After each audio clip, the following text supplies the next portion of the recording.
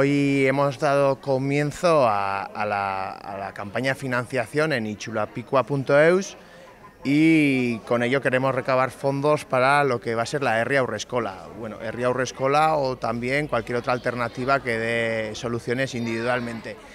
Eh, la financiación es necesaria porque nosotros queremos simular el sistema público. Eh, nuestra RA Escola tendrá tarifas, baremación, eh, manera de coger eh, educadores y educadores, todo según el sistema público, plan nutricional, pedagogía, todo absolutamente, por lo tanto es, necesaria la financiación. Hemos hecho ver nuestras reflexiones acerca, de los datos de prematriculación y bueno, hemos, hemos visto que ha influido algo el COVID, pero no tanto como el arrinconamiento de la oferta de euskera al norte de a los barrios del norte de Pamplona. Eso ha impedido a muchas familias que viven en el centro, oeste, este y sur de Pamplona eh, a que hayan podido prematricular a sus hijos en, euskera y por ello muchos de muchas incluso de familias que han estado en contacto con nosotros eh, han acudido al castellano. Entonces, bueno, ese llamamiento a, oye, eh, a todo Euskaltzale a, a, que venga a nosotros, a que ayude económicamente,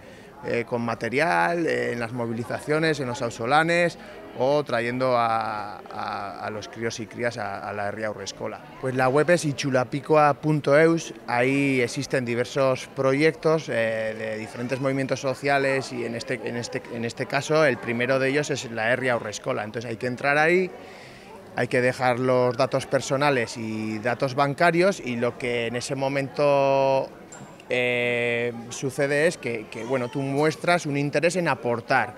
Cuando nosotros llegamos a un mínimo de, al, mínimo establecido que pedimos, en ese momento se convierte en un pago. Es una lucha de todo el movimiento Euskal Sale, es muy importante que esta inercia no se transmita a los siguientes sectores de edad y hay que estar ahí.